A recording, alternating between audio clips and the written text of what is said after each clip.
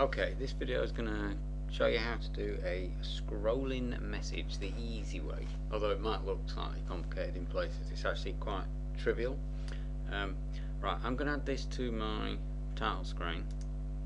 Okay, so I'm going to be running a subroutine from start title. So I'm just going to stick it at the bottom and I'm going to um, call it start scrolling text. Okay, so I just added that in there. It doesn't exist, so I'm going to right click on it and say generate method stub. Okay, now what I need to create is some text.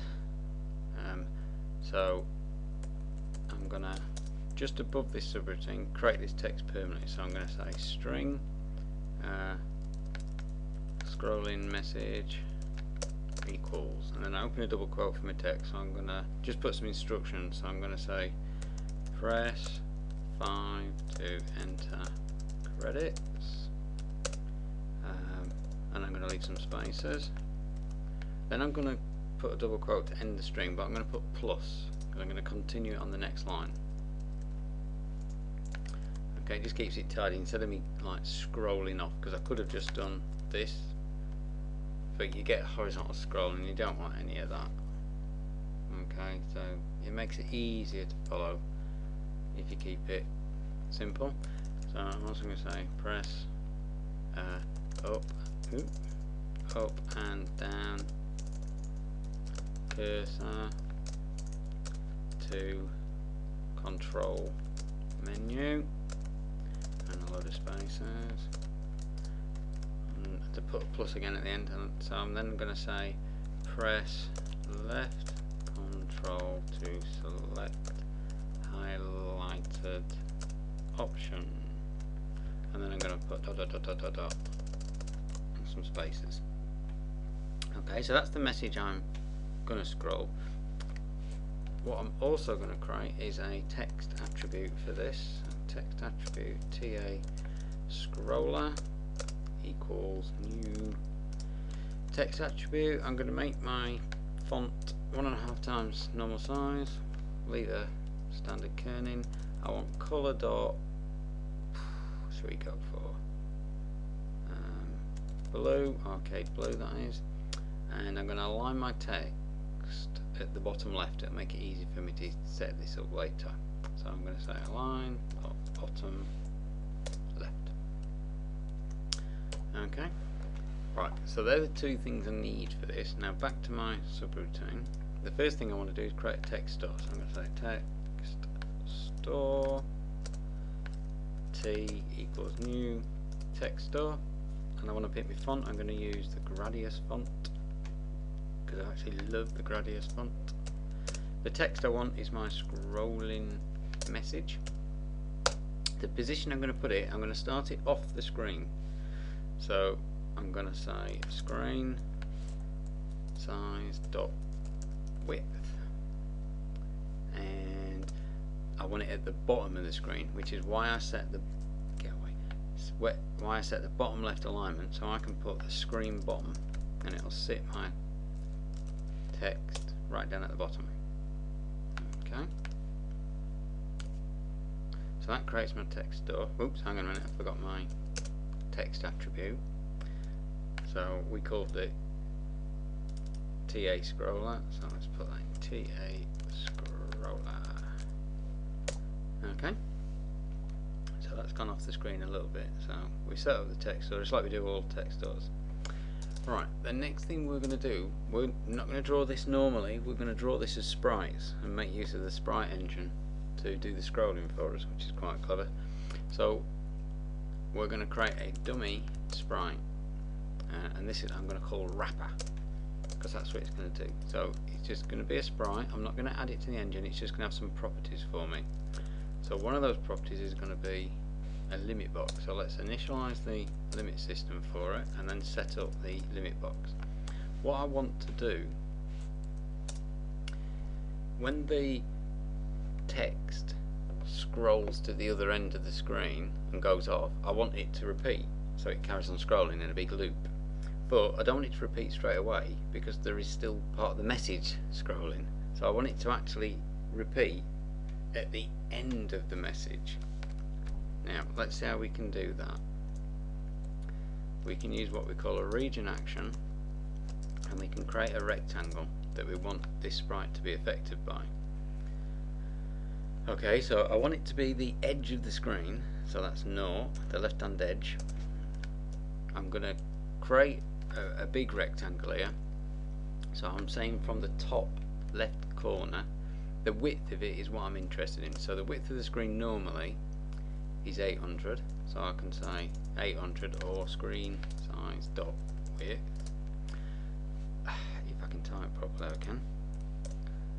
Width.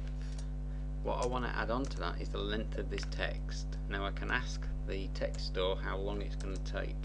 So I can say render line length of a single line because it's all in one line. Okay. So I can go like that. So I add those two values together. Now I don't want it to repeat straight away. Um, so what I'm going to do is before that I'm just going to say add on 100 to this width. Now it's moaning at me okay? Um, because that is a float value and we wanted an integer. So we just put int just in front of it. It's called casting so we're saying convert it to an integer for me. Right, the vast value is the height, so I'm just going to put, well, I'm going to put screen size dot height, and I'm just going to add on a little bit. I'm not bothered about the height, but I want to make sure that the sprites are inside the limit box, otherwise it won't work very well. Okay, so that defines the rectangle, and then I need the limit action. So the limit action is going to be wrap exact. Now, that's gone off the screen again. So what I'm going to do is just going to put my cursor just for a new rectangle and press enter. Okay. And then after the comma I'm going to do that just to make it a little bit easier to follow. You don't have to do that, I've just chosen to do that. Okay, we also want these characters to, to move, so we're going to give this wrapper velocity. So we're going to say velocity dot x equals minus 150. So that's left 150 pixels per second. So that's how fast my scrolling message is going to go. Okay. Right. The next thing we need to do is modify the text store. Um, because by default text stores after 800 characters they will create a line break and start printing text on the end and we don't want to do that so what we're going to do is we're going to access the properties of our text store called T and the line breaks after we're going to set to a massive number. Okay and that number is going to be the maximum value for an integer. Okay which is about 2 billion. So if our length of our scrolling text goes over 2 billion pixels then it will cause a line break. So hopefully that won't happen. I'm not going to spend uh, the time typing in 2 billion pixels worth of characters okay so that should force it to just carry on in one line. Okay last bit actually do the drawing. So we ask the text manager text manager draw as sprites. And tell it what text do I want to draw? T. Say what Z position so I want this in front of things so I'm going to say 3000 I can add lots of different properties to the wrapper to do all this but I'm just using this and then I'm going to say sprite attributes. Well use the things that I've set for wrapper. Okay. So we only have to do that once. It's not like dynamic text where you have to keep drawing it from general logic. You can just do this once because it's been set up as a set of sprites. Okay so let's just do F6 make sure it builds. There you go bottom left hand corner it says build succeeded. So let's try and running it and see what happens. Hopefully it'll work. You never know, might not the first video don't where everything don't work. There you go, so there's the blue text. Jerking because of the recording software remember? So one ten press up and down cursor to control menu. There you go scrolling away. Press left control to select highlighted options. Now notice there's no um, lowercase letters in this, so they're generated as uppercase. And there goes my dot dot dot's going off screen, and my message will start again. So if I change the font, uh, let's go for another one. Let's go for Asimov. It's a nice font. Run that again. I think the blue's a bit dark. I'll change that when I try this again. So there you go. It's using the lowercase. Let's go for Atarian bold. But I'm going to change the font colour and I'm going to make it cornflower blue. That's Microsoft blue, that is. For some other reason.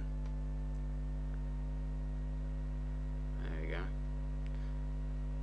So press 5 to enter credits. Now, can you see the special effects are going over the top of that text? I don't want that to happen, so like I said, I'm going to go back to the wrapper and I'm going to have wrapper and I'm going to change its layer. So that's rend wrapper.layer goes render layer dot. I'm going to put it on the HUD layer, okay, which is drawn after all the sprites and the foreground, mid, and background tile map. So it should appear over the top of that text. I'm going to change the font again in a sec as well. Just want to make sure that, works. I'm going to change the font for my final run. So watch the special effects when they come down the bottom. They're now behind that text. Uh, speaking nicer font than that.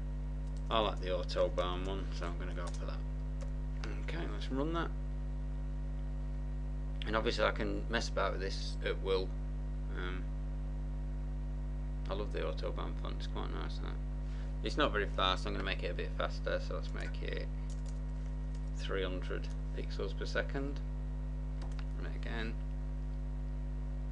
In fact, I hate that cornflower blue, so I'm going to change that to Mank.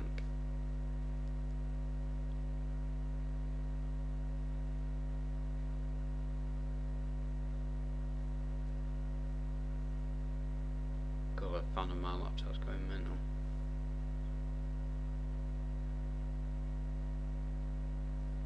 So hopefully there's the dot dot dots and it'll start again in a minute. There you go. And that's how you do It's got a message.